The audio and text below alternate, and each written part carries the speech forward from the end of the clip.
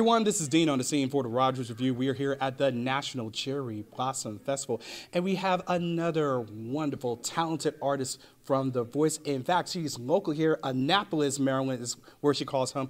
Parijita, how you doing? I'm good. How are you? I am doing great. So how does it feel to be here at this year's Cherry Blossom Festival? It is wonderful. I mean, I am a local. I come to DC all the time. Me and my friends, we come here to take pictures, have food. So it's so nice to be part of an event that is so important to DC, somewhere that I love and my family and friends all love to hang out. Excellent. Well, since you are local just like me, what does the cherry blossoms mean to you?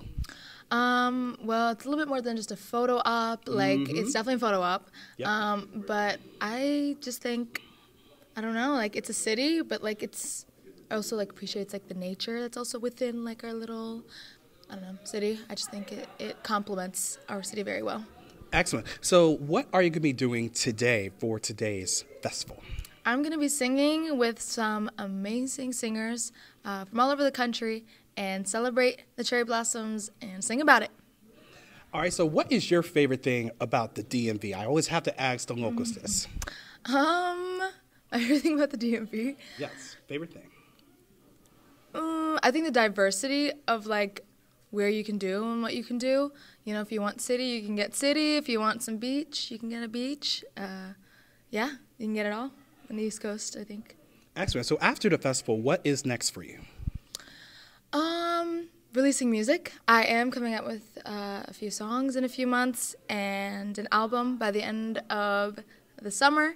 Um, and yeah, and hopefully a tour in the fall. So I'm really, really excited. Awesome. What's the name of the album? Um, I'm not gonna share that yet because I haven't shared it with, with my with my people. But follow me on Instagram and you can find out. And where can we follow you on Instagram? Uh, my Instagram is Parijita B, P A R I J I T A B. Excellent. Well, Parijita, thank you very much for coming out. Thanks for having me. And don't forget, you can check out the National Cherry Blossom Festival on their website, nationalcherryblossomfestival.org. You can also check them out on their Facebook page, and they're live streaming live on WJLA ABC7 here in our nation's capital. Reporting from the National Archives, this is Dean on the scene and Parijita for the Rogers Revue.